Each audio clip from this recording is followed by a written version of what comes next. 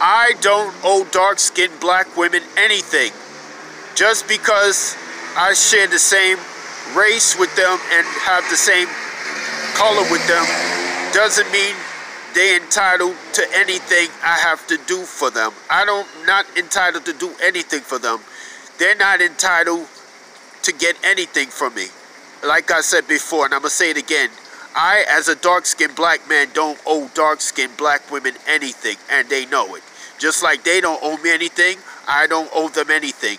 They think they're entitled to my um my finances, which they're not entitled to. They think I'm entitled to um be with them and only them, which is a lie because many of them aren't aren't good women. You know what I mean? They think they're entitled to black men, which they're not. So I just want to let you black women know you're not entitled to anything. And black men like myself aren't obligated to do crap for y'all if we choose not to because of the way you mistreat black men. You know what I mean?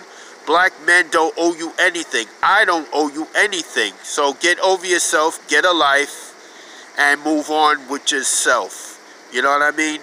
Black men do not owe black women anything. I know I don't owe black women anything. Just like they don't owe me anything. So I just wanted to let you know that I don't owe you anything, black women. So get off your high horse and get a life.